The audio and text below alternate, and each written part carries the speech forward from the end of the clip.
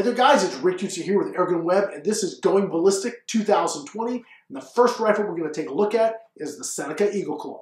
So before we get started, I want to say thank you to H&N Pellets, Clear Ballistics, and also ATN Optics. All of these pieces came together to let us bring this series to you, so definitely want to say thank you to those guys. Now, what do we have here? This is the Seneca Eagle Claw. I've already done some videos on this. It's awesome, we know that.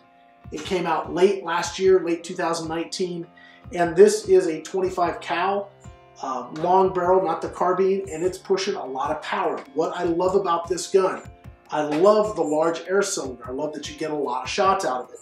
I love the magazine. The magazine works really well, pretty much flawless.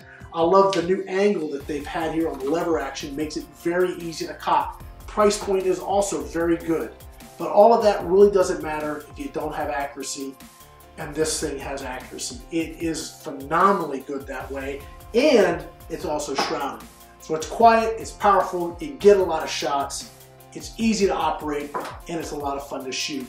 And it really makes an ideal hunting platform. So in 25 caliber, what are we getting? Well, we shot the H&N Hornets first. Looking at my tail of the tape here, H&N Hornets are 24.38 grain, we're shooting 970 feet per second. That's just about 51 foot-pounds. And they are tack drivers, so great hunting option. Now when you start looking at the gel, the first pellet we shot was the H&N Baracuda Hunter Extreme. These guys, we go back to my notes here, they are 28.24 grain. We're shooting about 860 feet per second. That's 46 foot-pounds. That's very, very stout. And when they hit the gel, they expand like like that. Now we've actually pulled those pellets out of the gel. I've got them down here. They really expanded well. When you look at the difference between the, the pellet out of the tin and then what we're pulling out of the gel, you can see that all of that energy is just dumping right into that, whatever you're shooting. If you're shooting game, you're just importing all that energy. It's all going to the game. It's not going out the backside, which is what you want. When you're hunting, that's exactly what you want. Now with the Hornets, they're shooting a little faster. They're shooting about 970 feet per second and they're right at, I mean, just on the edge of 51 foot-pounds, which is pretty smoking for this gun. They also really dump a lot of energy. In fact, the Hornets are some of my favorite hunting rounds, basically of all time. This, this shot actually, the front of the pellet separated, the pellet expanded fully. It really dumped all of the energy very, very quickly. And you can see here that that pellet is just, just mushroomed right out, which is exactly what you want.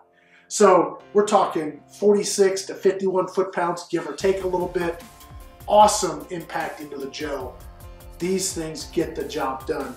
Just a great combination. If you like hunting, this gun is absolutely one of my favorites. Guys, I'm gonna go ahead and wrap this up now. Just a great hunting package. I really love this gun. I can't say enough about it. It's awesome and I can't wait to go out and do some hunting with it. Love the ATN optic because then you get to see your actual kill shots very easily, which I really like that part of what this brings to the table for me, so that's very cool. And of course, when you're shooting the Baracuda Hunter Extremes or the Hornets, you're gonna have the most lethality you can get. Really, really cool stuff. So guys, that's it for now. My name is Rick Eutsler here with Airgun Web. Thanks for watching.